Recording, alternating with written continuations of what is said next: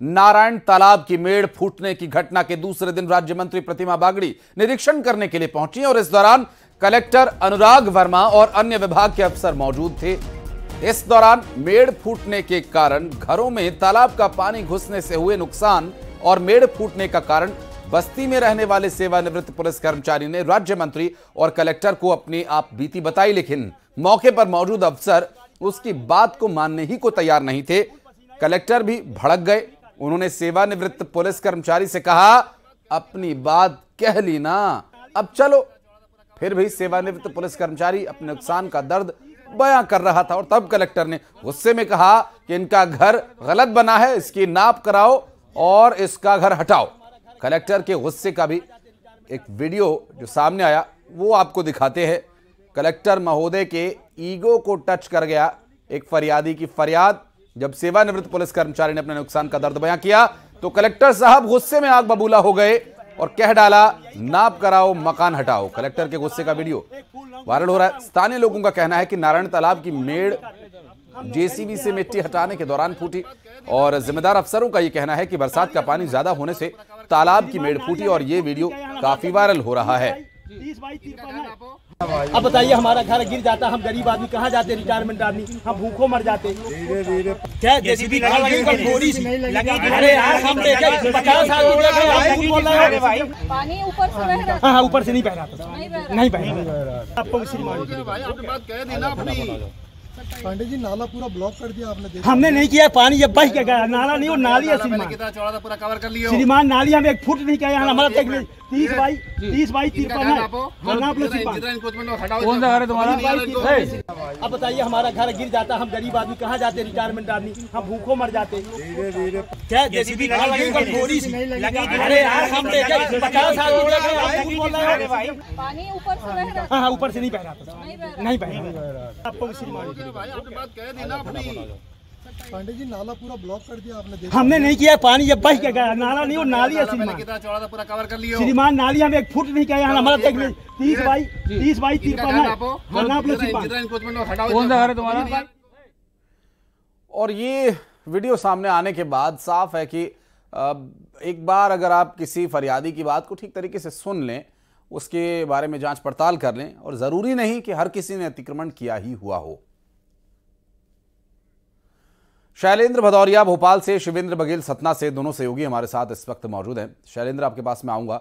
लेकिन शिवेंद्र, एक फ़िल्म आई थी, उस फ़िल्म में एक डायलॉग था। विलन कहता है कि कुछ भी करने का, पर अपना नाम लेकर कहता है कि फलाना के ईगो को हर्ट नहीं करने का।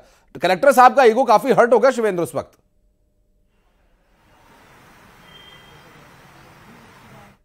दूँ कि जो फरि, जो फरियादी थे उन्हीं को की बातों को सुनकर कलेक्टर साहब का ईगो टकराया और उन्होंने घर की नाप कराने और गिराने के आदेश तुरंत जारी कर दिए। मैं बता दूँ कि पिछले दो घंटे से मैं उसी बस्ती में मौजूद हूँ जहाँ पे ये प्रलय कृत्रिम प्रलय आई हुई थी। यहाँ के हालात बस से बदतर हैं। यहाँ लोगों के एक दाना नहीं बचा है जिसका वो निवाला अपने मुख में डाल सके। पूरा घर जो है बदबू से परेशान है। लोग मजदूरों को बुला करके अपने घर की साफ़ सफ़ाई कर रहे हैं।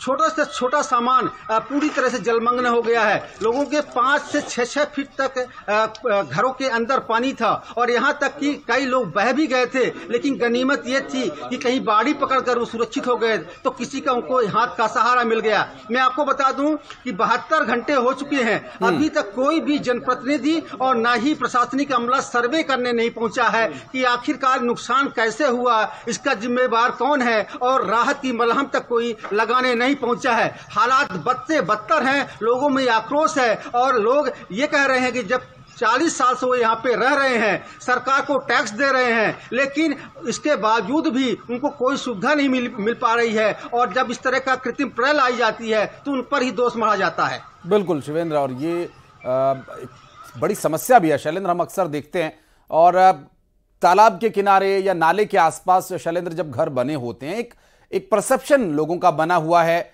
और एक रिटायर्ड पुलिस कर्मचारी जिसने अतिक्रमण किया हुआ, हो सकता है ये एक एक पहले से परसेप्शन बना हुआ है। पूर्वाग्रह से ग्रसित अधिकारी जब मौके पर पहुँचेंगे तो क्या फरियादी की फरियाद सुनेंगे? वहाँ पर मौके पर प्रतिमा बागड़ी भी मौजूद है, उसके सामने ही कलेक्टर साहब ज़मीन से ऊपर हो रहे थे।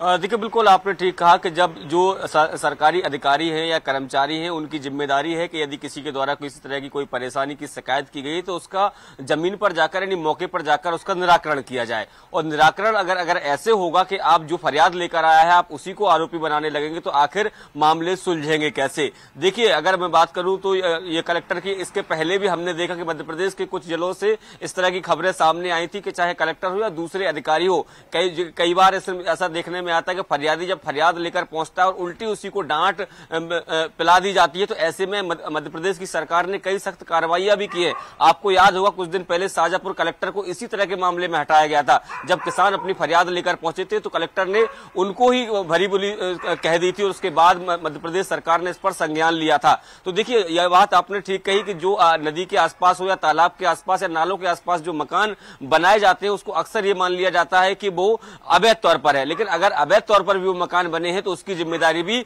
सरकारी अधिकारियों को लेनी होगी। क्योंकि यदि जब वो मकान बन रहे थे तब वो अधिकारी कहाँ थे क्या मतलब आँखें बंद करके बैठे हुए तब उन्होंने इस, इस पर संज्ञान क्यों नहीं लिया कि अगर नदी के या नाले के किनारे या तालाब के किनारे जो अवैध निर्माण लगातार हो रहे हैं तो उसको रोका क्यों नहीं गया? और यदि अभी अगर वो कह रहे हैं कि ये अवैध है तो उसकी नपती कराई जानी चाहिए। लेकिन जिस तरीके से हमारे सहयोगी बता रहे काफ़ी लंबा समय हो गया कोई टीम भी वहाँ नहीं पहुँची हुई है। और जिस तरीके से जो पानी है उसके भरने से जो नुकसान हुआ है उनकी तो भरपाई कम से कम सरकार को करनी चाहिए। उसमें ये नहीं देखना चाहिए कि आखिर अवैध तरीके का मकान था इसलिए आपको हरजाना नहीं मिलेगा जबकि मध्य प्रदेश सरकार इस, इस सब मामले को लेकर बेहद संवेदनशील है। जहाँ भी बाढ़ की बात होती है या इस तरह की जो दुर्घटनाएँ होती है उस पर तत्काल जो है इनको पहले रेस्क्यू करके दूसरी जगह विस्थापित करना चाहिए और इसके साथ ही इनके खाने पीने का इंतज़ाम भी करना चाहिए। लेकिन जो बात यहाँ नज़र आती है आप भी संभव है कि इस बात से इतफाक रखें। शिवेंद्र आप भी इस बारे में ज़रूर बताइएगा कि ये सब कुछ जो हुआ, वो राज्य मंत्री की मौजूदगी में हुआ। अमूमन होता क्या है? जब राज्य मंत्री या कोई बड़ा नेता, जो कैबिनेट का हिस्सा है या बड़ा नेता है, वो अगर मौके पर पहुँचता है तो अमूमन अधिकारी उनके सामने इस तरह की परेशानियाँ खुद रखते हैं। वो जो शिकायत करता है, जो फरियादी है, उसके प्रतिनिधि बन जाते हैं और फिर वो राज्य मंत्री के सामने उन बातों को रखते हैं कि आप बताइए, आप सजेस्ट कीजिए कि इसका हल कैसे निकलेगा। यहाँ राज्य मंत्री को देखकर कलेक्टर महोदय वैसे ही अपने ईगो के ऊपर सवार हो गए और पहले ही नापजोक करके घर हटाओ का आदेश वो देते नज़र आए। हालाँकि इस बारे में ज़रूर निश्चित तौर पर सरकार को भी सोचना चाहिए, प्रशासनिक अधिकारियों को भी। इस पूरे मामले में बातचीत करने की कोशिश भी उन्हें करनी चाहिए कि फरियादी से आप बात कर लें, कुछ देर उसकी समस्या को सुन लें। संभव है कि वो खुद ही इस बारे में हल बता दे आपको कि इसका हल आखिर कैसे निकलना लेकिन शिवेंद्र, इतना समय हो गया, पानी भरा हुआ है, लोगों को अभी प्राथमिक स्तर पर कैसे बीच बचाव, कैसे इस पानी से बचने की कोशिश, इस गंदगी से बचने की कोशिश लोग वहाँ कर रहे हैं? देखिए मैं आपको बता दूँ कि हालात बदते बदतर है। चारों तरफ़ बदबू का मार है पेड़ पौधे गिरे हुए हैं। लोगों के वाहन बहे थे उसको निकाल करके वो मैकेनिकों के पास भेजे जा रहे हैं। लेकिन मैं आपको बता दूँ कि बहत्तर घंटे हो गए हैं। इस बहत्तर घंटे में नगर निगम और जिला प्रशासन का एक कर्मचारी नहीं पहुँचा कि आप भूखे हैं आपको खाना कहाँ से मिल रहा है आपकी क्या व्यवस्थाएँ हैं? तो कुल मिला के हालत बहुत बड़ी बदते बदतर है। और मैं आपको बता दूँ कि जिस कलेक्टर साहब को शायद इसी बात का गुस्सा आया होगा कि कहीं अस न हो कि मुझे कुछ व्यवस्थाएँ करनी पड़ेगी। और जिसको वो डांट फटकार कर रहे हैं जिसका घर गिराने शिवेंद्र मुझे लग रहा है कलेक्टर साहब का गुस्सा भी शांत हुआ नहीं है क्योंकि न्यूज़ 18 बार बार उनसे बातचीत करने की कोशिश कर रहा है। कई बार उन्हें फ़ोन लगाया लेकिन कलेक्टर महोदय अनुराग वर्मा जी फ़ोन पिक नहीं कर रहे हैं या बात नहीं करना चाह रहे हैं। ये भी स्पष्ट नहीं हो पाया लगता है गुस्सा अभी भी उनका शांत नहीं हुआ है। बहरहाल बहुत बहुत शुक्रिया आप दोनों का हमारे साथ जुड़ने के लिए, बात करने के लिए।